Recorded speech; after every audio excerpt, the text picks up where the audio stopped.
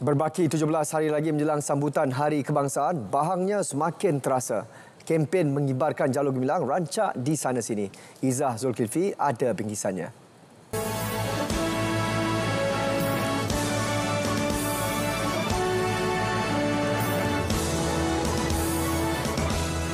Bagi menyemarakkan lagi semangat menyambut bulan kebangsaan, rakyat Malaysia diseru menyahut saranan inisiatif Satu Rumah Satu Jalur Gemilang.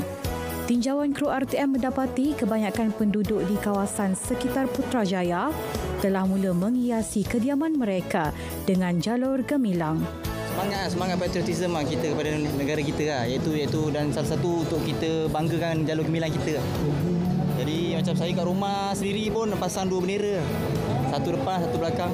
Itu penting warga negara mesti tahu bendera. Tak besar kecil mesti ada di rumah.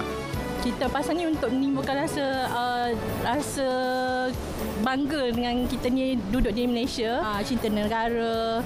Uh, ingat bati-bati pejuang-pejuang kita yang dulu masa sebelum mendapatkan kemerdekaan.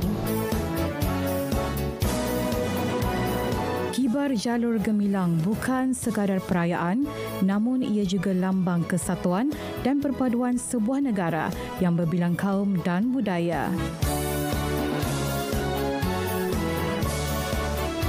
Jalur gemilang di bawah naunganmu Jalur gemilang kami semua bersatu perpaduan Ketaatan amalan murni rakyat Malaysia Seiring itu, ayuh rakyat Malaysia, kita kibarkan jalur gemilang di rumah bagi menyemarakkan lagi suasana bulan kebangsaan.